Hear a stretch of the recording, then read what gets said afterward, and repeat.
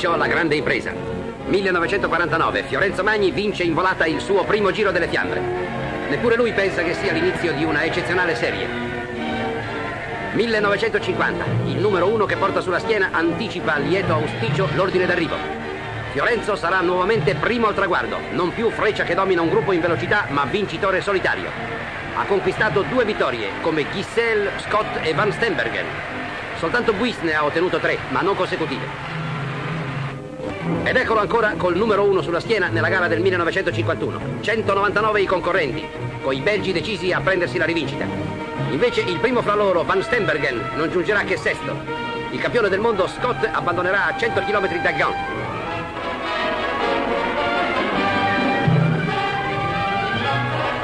Fiorenzo tira il collo a tutti.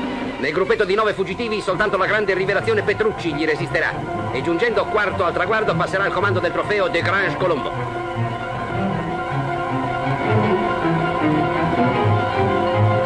Freddo, vento, pioggia, grandine sono vanamente coalizzati contro il dominatore della gara.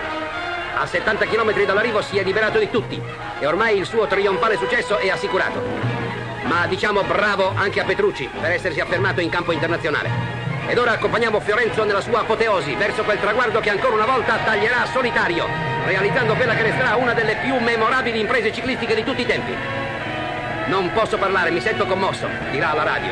Anche per questo ti vogliamo più bene, Fiorenzo, autentico leone delle Fiandre.